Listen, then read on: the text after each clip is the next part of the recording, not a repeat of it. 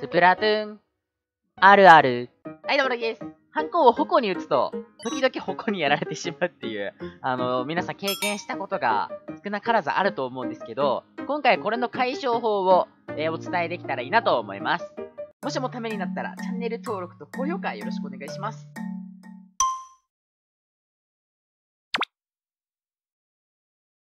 ハンコは何も押さないと、まっすぐ進むので、もしもガチホコがでかかったりしたら、ホコの爆発でやられてしまいます。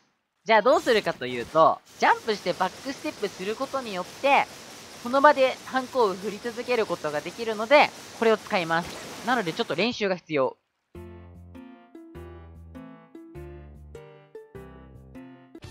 うまく使えると、相手がガチホコを打ってても、しっかりと割ることができるので、敵を倒すこともできます。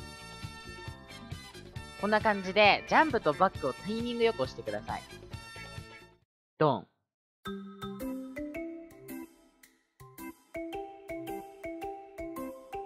おらおらおらおら。うわ、うわ、おおびっくりした。うわうまいうまい、ほか、うまいうまいよく落ちなかった、今。